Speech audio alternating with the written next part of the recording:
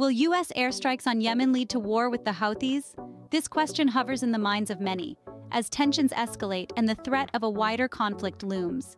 In recent days, the U.S. military has launched a series of airstrikes on Houthi-controlled sites in Yemen. This is a direct response to attacks by the rebel group on commercial shipping vessels in the Red Sea. The strikes began hitting 28 locations and over 60 targets, a clear indication of the U.S. determination to protect maritime traffic. President Joe Biden warned that the Houthis could face further strikes, a stance that has been echoed by Western allies. Warships from both the US and the UK have been retaliating against Houthi attacks for several months now. Despite this, the Houthis have pledged to continue their attacks. This has led to a complex situation where strikes have also hit vessels with no known ties to Israel. In response, the U.S. Navy has warned American flagged vessels to avoid areas around Yemen for the time being. The Houthis have vowed retaliation, raising the prospect of a wider conflict.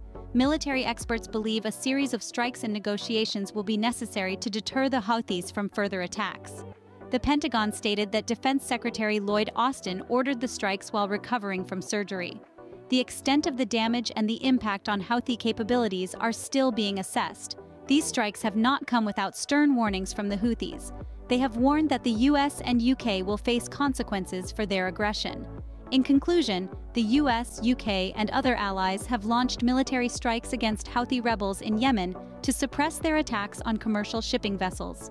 This has led to a situation where the Houthis have vowed revenge, escalating tensions and bringing the prospect of a wider conflict into sharp focus. The strikes against the Houthis are seen as a response to their escalation and tensions in the region. The question remains, Will U.S. airstrikes on Yemen lead to war with the Houthis? Only time will tell.